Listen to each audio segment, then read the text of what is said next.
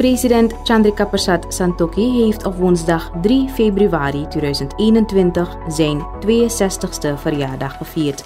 Voor First Lady Melissa Santokhi Sinacheri is dit heugelijk feit ook het moment geweest om sociale instellingen te gedenken.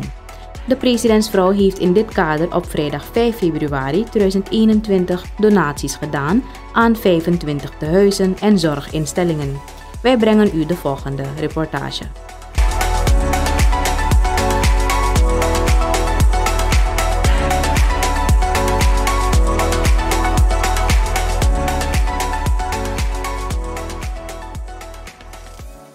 Namens de president, u alle van harte welkom. De president heeft zijn verjaardag afgelopen woensdag eigenlijk gehad. En door tussenkomst van een paar donateurs hebben we gemeend een geste te doen aan 25 instellingen. Ik was namelijk vorig jaar al gestart met um, enkele instellingen. De bedoeling was dat ik het zou afronden. Helaas kwam COVID bij kijken met de maatregelen. Dus hadden we het eigenlijk moeten uitstellen. En hiermee kunnen we het voortzetten.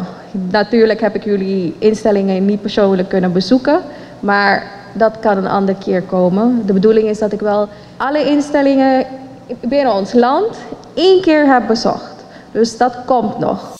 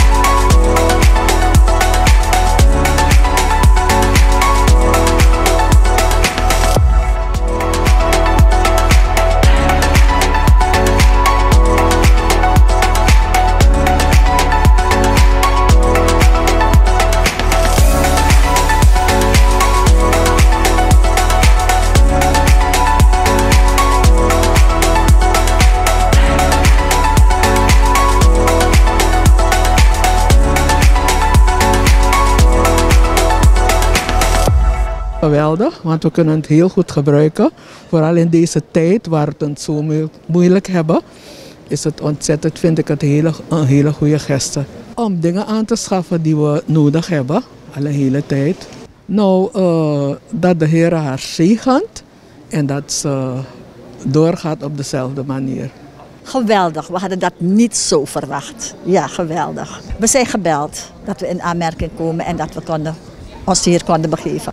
Wel omdat we kinderen hebben opgenomen die een beetje hulp nodig hebben wat school betreft, willen we even kijken als we daarmee materiaal kunnen kopen voor de school die we willen bouwen voor deze kinderen. Maar natuurlijk ben ik afhankelijk van het hele bestuur.